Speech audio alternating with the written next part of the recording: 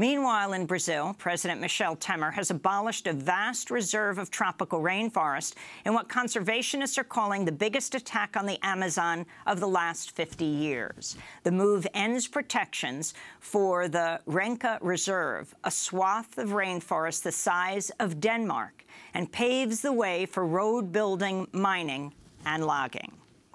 In Israel,